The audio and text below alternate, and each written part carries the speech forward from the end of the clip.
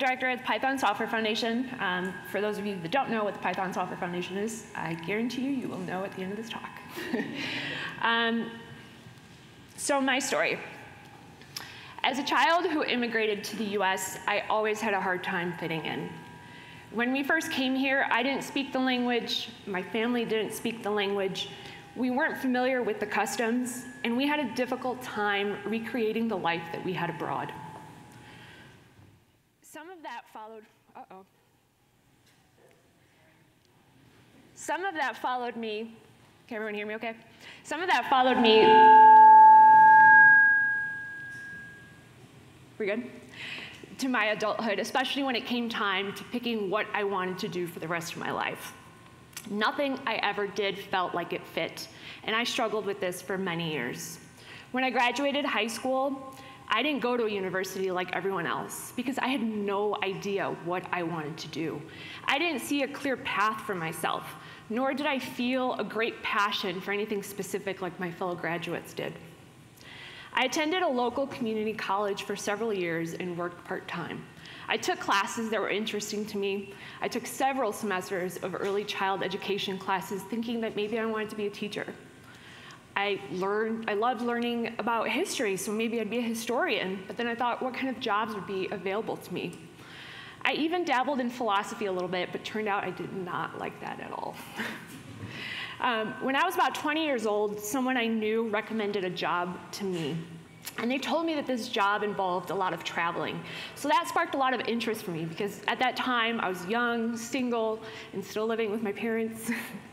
um, I applied and luckily I was hired for the job. And at that same time, I stopped thinking about what my greater calling in life was.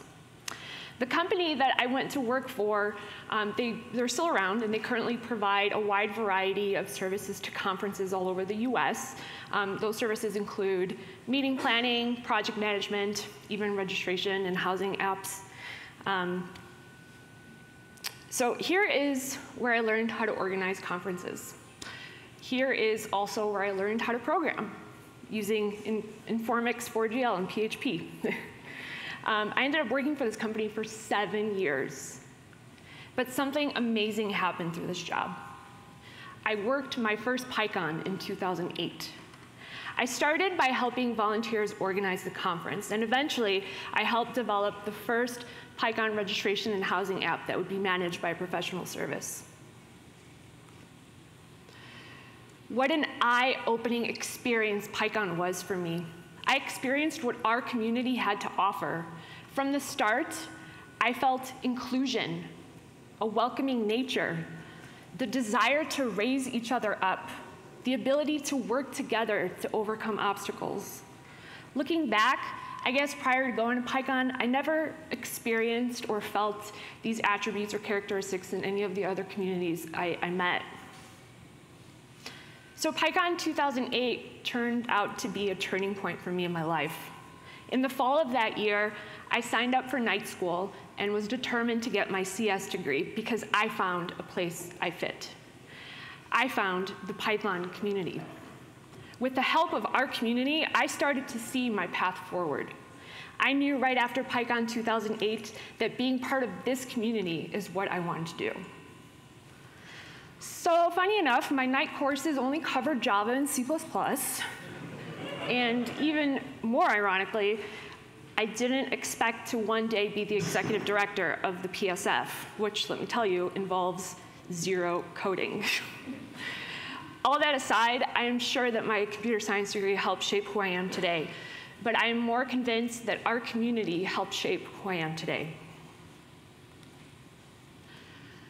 Everyone sitting here has been somehow impacted by Python and its community, or will be for the first time at this conference. We'll forever carry around our stories because that's how Python changed our lives. All of your stories, my story, the stories from all around the world are what make Python special. More so, no two stories are the same. They are what makes our community. So the Python Software Foundation tries to embody all of that and be the support for all of us so we can have our own stories to tell. The PSF's mission is to foster Python in its community. Its mission is to create a community that empowers people no matter where they live, the language they speak, the color of their skin, their age, and so much more, so they can have their own impactful Python story. Our entire community and the PSF work together to sustain Python's ecosystem. An ecosystem where through diversity, inclusion, education, trademark protection, financial support, and so much more. We continue to grow a community and therefore fostering a support system for one another. And you might ask, why is it important that we focus on all this today? The answer to that question can honestly be a talk in itself. But the short answer is Python is an open source language, and it's driven by its community. It's driven by collaboration, by transparency. We all need to know what drives Python. Python's code is an important component of our ecosystem. It is the commonality that we all have sitting in this room. But we are more important. Without us, it would cease to exist. The beginners, the users, the contributors, the core developers, even the core, the creator of the language himself, all the people behind Python the interactions we have are what shape the code. Because of this, we are invested in Python, and that's why it's important. So how does the PSF support this vast community? What's the PSF story? So the PSF story began in 2001. It was started by a couple of Pythonistas. One of them is sitting right here in this very first row, Paul Everett. 18 years ago, the PSF board directors started to pave the way for our PSF today. From the start, they worked on getting a few sponsors, which when I was looking through some of the minutes, I think it was about $17,000 the first year. Um, they created a place for communications to happen within our community. They started to vote in members to the PSF. They decided how they were going to run the Python conference and what was the PSF's place in the community. And let me tell you, a lot has changed since then.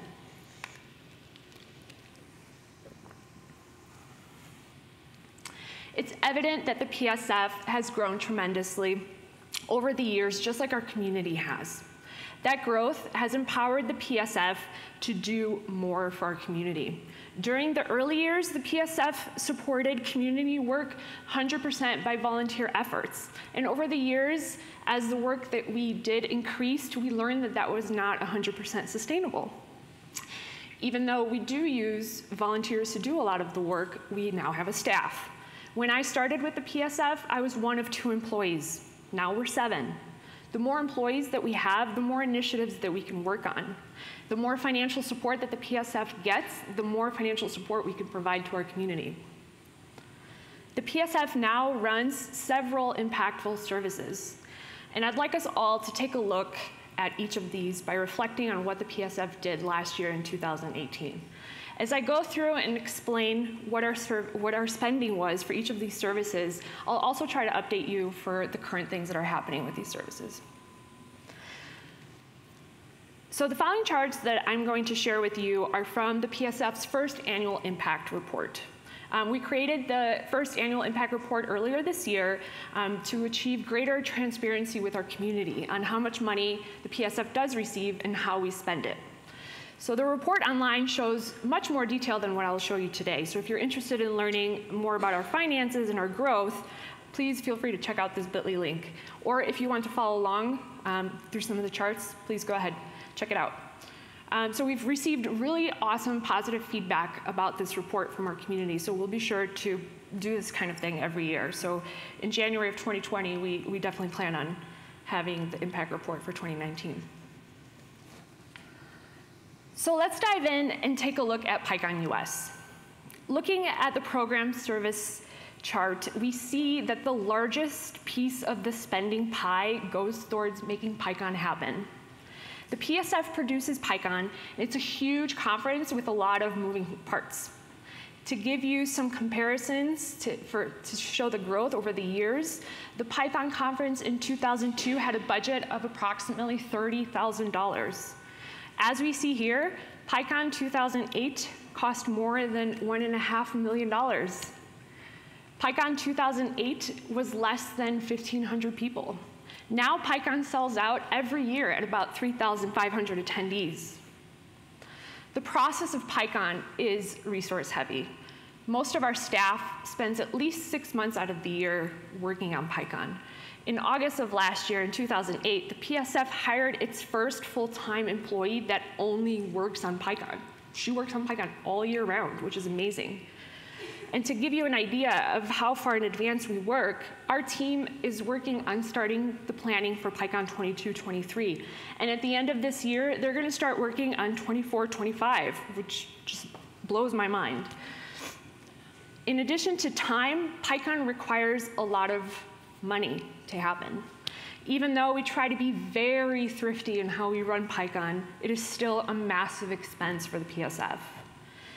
PyCon has grown to be the largest Python conference in the world, and it is also the largest source of revenue for the PSF. In 2008, PyCon's revenue was 83% of the PSF's total revenue.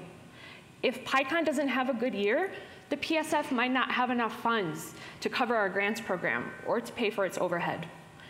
PyCon is also the longest PyCon. It totals nine days. We have two full days of tutorials, three conference days, and four sprint days. Even though many attendees cannot make it for the full duration, we do have hundreds of people that do.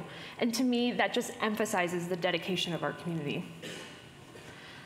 Every year, we attempt to provide a remarkable experience for our community, similar to what Scott was describing as their process here for PyColorado was. We try to keep prices low we provide daycare.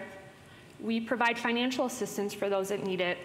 We provide many networking opportunities for our attendees. And we also try to provide a wide variety of skill level content. Additionally, we make sure that all of the content is publicly available within a couple of hours, so those that cannot attend PyCon can still see all of our tutorials and all of our talks online within a day or two. So a few weeks ago, I'm super happy to, to announce that our team launched the PyCon 2020 site. For those of you interested in going to PyCon, I recommend you check it out. Registration isn't open yet, but it will be in a few months. And for those that are interested in proposing a talk, our CFP will open next week. So next we have our awards program. So this was started in 2008. The PSF loves to recognize community members that have a positive impact on Python's community. The process here is pretty simple. Through this email, uh, email address that you see here, psf at python.org, um, the PSF accepts nominations for, for community service awards. Quarterly, the PSF board directors review all of these nominations that we receive, and they select two to four award winners per quarter. We also have something called the Distinguished Service Award, which is the highest level of recognition that someone can receive from the PSF.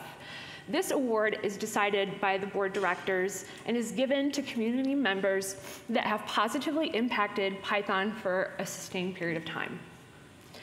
So these awards come with a cash prize because we feel that is a good way to show our appreciation to our volunteers who are all over the world. Um, we, we give out about 10 awards a year, and so this expense is small when you compare it to something like PyCon, for example. But we do feel that this type of recognition is important to our volunteers and is important to our community growth. Anyone can nominate a deserving member. So if you know of anyone that should be recognized for their volunteer efforts, I encourage you to nominate them. If you feel like you don't want to email psf at python.org, feel free to tell me. I will nominate them on your behalf. So next up, let's take a look at our fiscal sponsorship program. This is somewhat unique. Um, this program allows projects that follow the PSF's mission um, to join our organization and to receive certain benefits. Um, this, these benefits include accounting help and the ability to absorb our nonprofit status so they can receive tax exempt donations. Um, the process for this program requires that the PSF staff audit the projects that are interested in joining. Um, this is mainly a risk assessment because if we do accept a project that is not aligned with our mission, we could lose our nonprofit status. We have to determine that the project fits our mission and that it aligns with the services that we provide. The once the project is accepted, we create a specific donation page that is just meant for this project, and they can use that to bring in donations for the project. Um, the funding that comes in for our fiscal sponsorship groups is earmarked for their use only. So the expenses that we see um, in our annual impact report the, is from the money that they have raised themselves for their use. So in a way, they are part of our general budget, but at the same time, they're not because we don't use it for general PSF expenses. So since our staff internally has been growing, we've been able to offer this service to more and more um, projects. So currently we offer it to several user groups and conferences in the US, as well as the Pallets Project, which is home to um, projects like Jinja and Flask, and we also house the PyLadies project. So as many of you know, the PSF also maintains infrastructure that our community uses on a daily basis. Um, this includes PyPI, docs.python.org, python.org. Um, so I, I, want us to briefly touch on the MOSS grant um, that the PSF received a few years back, since it was a significant amount of, of money that we spent in 2018. So the PSF received a grant from Mozilla Open Source Support to finish the PyPI um, code base, which is known as, as Warehouse, and launch it. So this was the first time that the PSF ever received a directed grant for such work. So the process for this grant required that the PSF hire three contractors and execute the grant um, as it was stated. So thanks to those contractors and all of the volunteers that contributed to that project, uh, it went smoothly and lots of improvements were implemented. The PSF work group that works on packaging is actively seeking additional grants so they can continue to improve PyPI and packaging for our community. Recently, the work group opened up a request for information phase for the next set of security improvements that we'll be working on thanks to a Facebook grant that we received. If you are interested in this topic, check out this bit.ly link at the bottom here, the PyPI-Q4 um, link at the bottom of the page for more information. You can also partake in the discussions that are happening.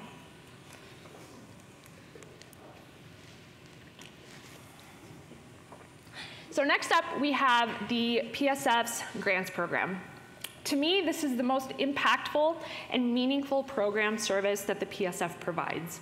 I work with a great group of people from all around the world, and through this effort, um, on the PSF's grants working group, we give out hundreds of thousands of dollars to support uh, a variety of initiatives all around the world.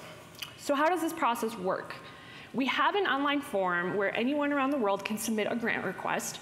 The request could be for Python training, workshops, conferences, development, and, and much more. I included a link here at the top um, for those of you that are interested in learning more about the program or are ever interested in submitting a grant request um, to read more about it.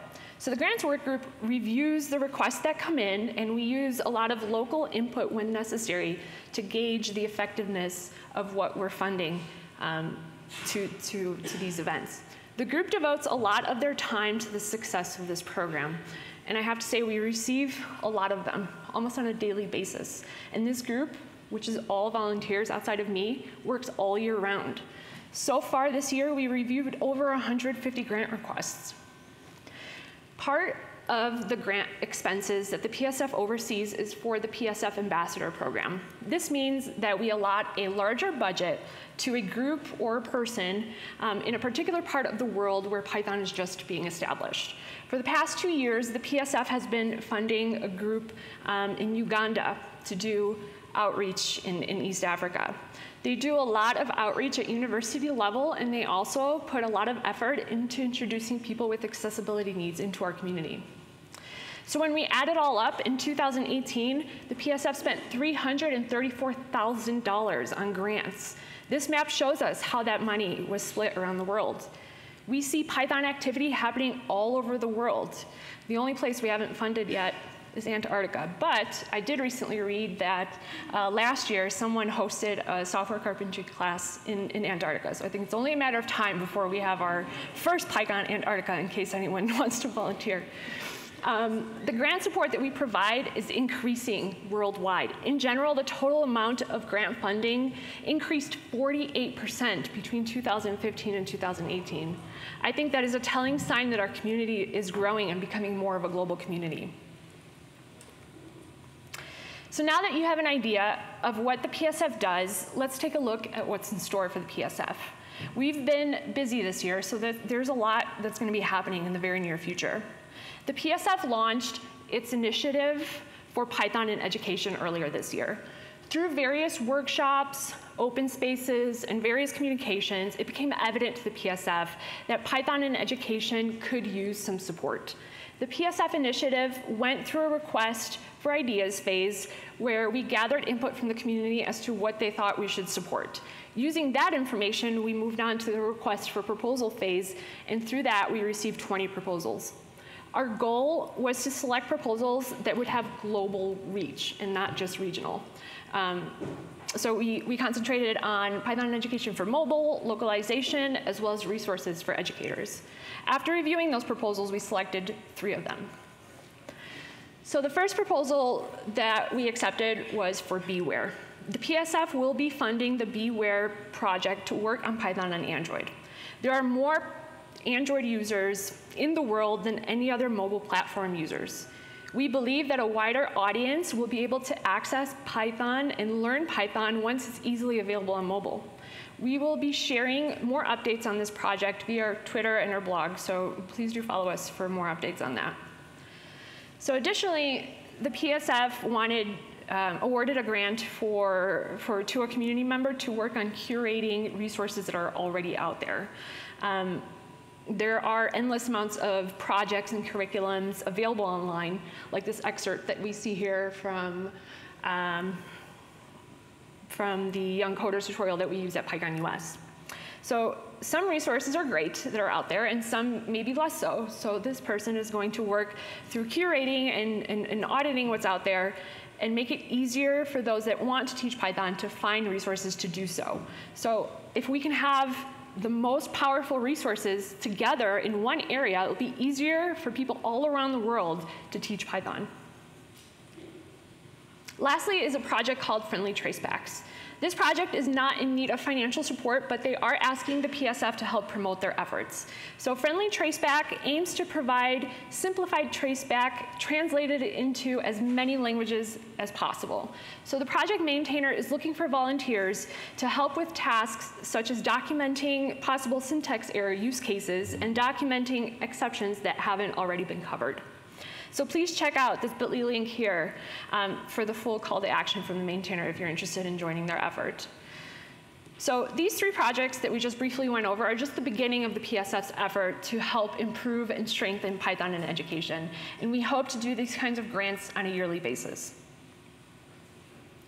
So over the last few years, the PSF really upped its game in community support. As we see, PyCon has grown, our grants program has grown. We are at the point where we're looking to improve the support for core development as well. I've been working with the steering council to figure out how the PSF can support core development.